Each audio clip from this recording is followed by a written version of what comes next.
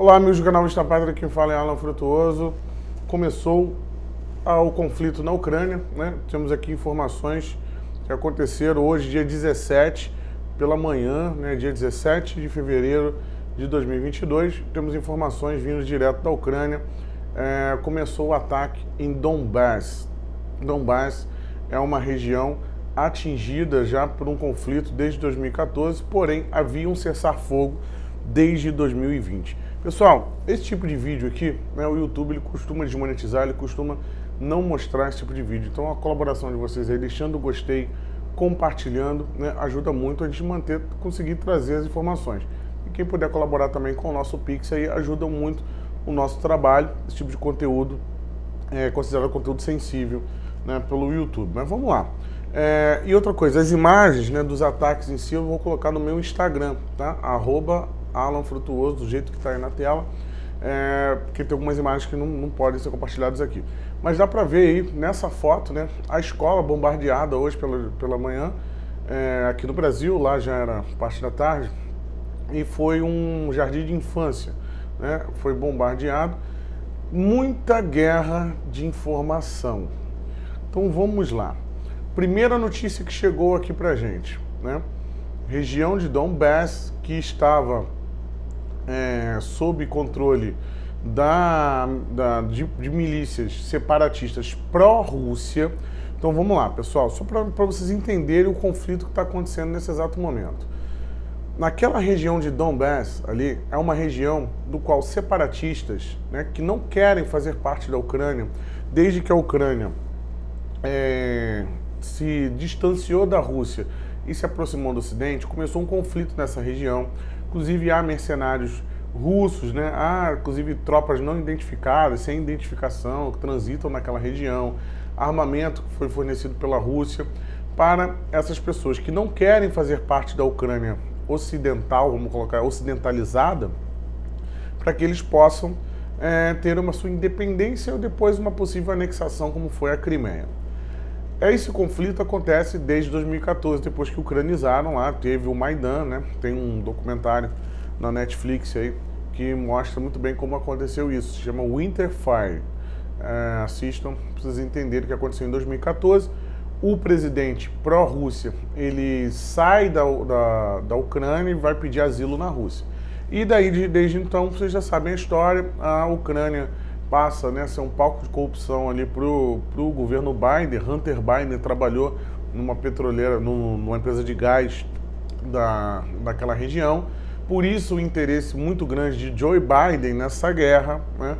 E vamos lá, isso aí dá para a gente entender um pouquinho o cenário. Então, desde aquele tempo, desde 2014, havia um conflito ali naquela região de Donbass.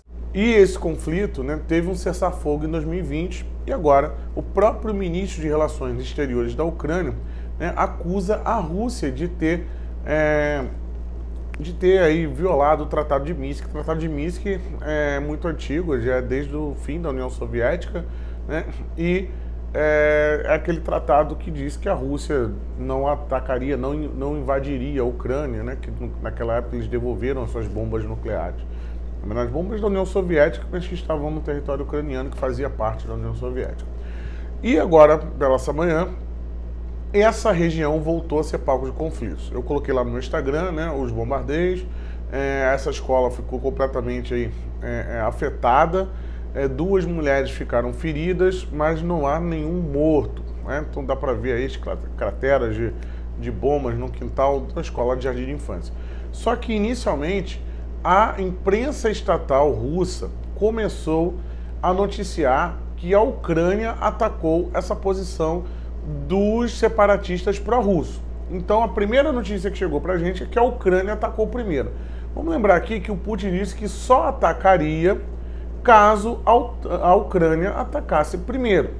Então, podemos estar assistindo aqui muito bem né, um false flag, uma operação de falsa bandeira Muito provavelmente isso pode estar acontecendo nesse exato momento. Por quê, Alan? Porque a Rússia, a embaixada da Rússia na Ucrânia, nesse exato momento, é, queima documentos. Como é que nós podemos ter certeza disso? Com essas imagens aqui, né, que mostram fumaça saindo da embaixada da Rússia na Ucrânia. Вот это вот российское посольство, да, загорелось. Ну как загорелось? Документы ждут. Задымел, как генерал Кузнецов прям На всю улицу. Да, да, даже прапора их не видно. Последний раз я такую картину наблюдал в 2014 году. То есть, ну, жгут, белые дымы воняют. Ага, что-то еще подбрасывают туда, уже черный пошел. Я же не думаю, что они там папу выбирают. Да, продолжаем наблюдение. Então isso acontece nesse exato momento. Né? há esse bombardeio. Então o que se espera é uma, uma retaliação russa a esse suposto ataque ucraniano. Porém, as apurações né, da imprensa lá em Donbass mostram que essa escola ficaria do lado controlado pelo exército ucraniano. Então, não teria sentido a Ucrânia atacar a própria região controlada pela Ucrânia. Então isso seria um ataque de separatistas pró-russos, né? Há algumas imagens estão sendo compartilhadas aí da distância, né, do, do da artilharia, né, é, da bateria de artilharia até o alvo, né? E isso demonstraria ali que uh, teria sido um ataque de pró-russos contra uma posição ucraniana. Vamos ter cautela nesse exato momento. O fato é que o conflito de fato começou. O presidente da Ucrânia, o Zelensky, ele afirmou, inclusive colocou aí no seu Instagram, né, imagens dele na, no mar, né, mostrando que ali é uma posição que também há um conflito bélico naquela região e de que ele disse que a decisão da, OTAN, da, da Ucrânia de ir atrás da segurança da OTAN é, continua mantida. Vamos lembrar aqui que essa busca da Ucrânia em entrar para a OTAN é considerado por Vladimir Putin como um ataque à Rússia, como um, uma violação da segurança russa, já que a, a Ucrânia está na fronteira com a Rússia. E a entrada da Ucrânia para a OTAN permitiria né, que tropas americanas, bateria de mísseis ali, né, escudo de mísseis e tudo mais, pudessem ser instalados naquela região. E isso, muito provavelmente, né, causaria aí uma reação russa. Então, se a Ucrânia, se o Zelensky né, não está, ah, não mudou de ideia, nada mudou diante de tantas negociações, diante do mesão lá com Macron, do, da visita dos shows e tudo mais, né, os shows primeiro-ministro da, da, da Alemanha, nós naturalmente caminhamos para o conflito. E aquele sinal fornecido pela embaixada ucraniana demonstra aí que realmente o caldo entornou. Você só queima documentos né, quando você está, é, de fato, deixando aquele país.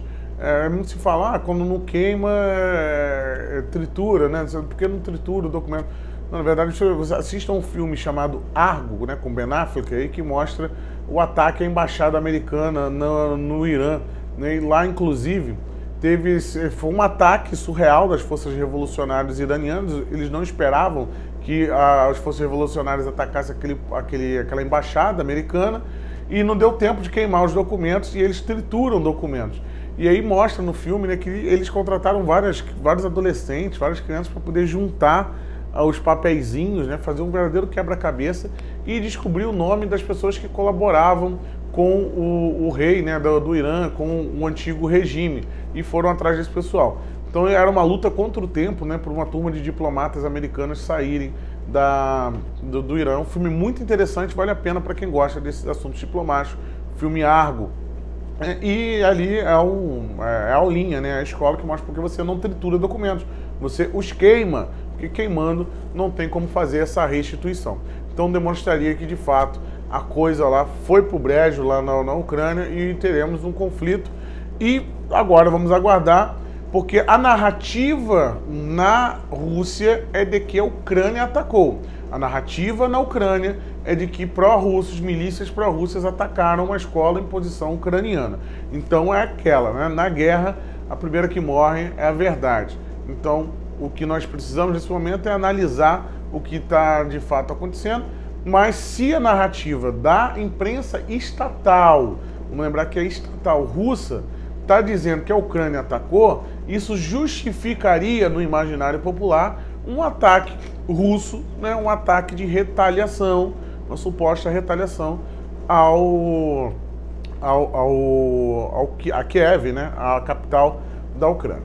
É, a situação é que, é, de fato, esse conflito está longe de terminar né, e hoje teve um grande start com um bombardeio de larga escala, como foi falado pelo ministro, assumido pelo ministro de Relações Exteriores da Ucrânia. Então, pessoal, a guerra começou, não sabemos como ela terminará. Quer ver as imagens, né, pessoal? Não posso publicar aqui no YouTube as imagens do, do conflito em si. Está lá no Instagram, siga lá Alan Frutuoso. Deixe o seu gostei no vídeo, compartilhe esse vídeo. Esse tipo de material costuma ser muito escondido aqui no YouTube, então dá uma força aí pra gente, tá bom, pessoal? Forte abraço, tchau, tchau.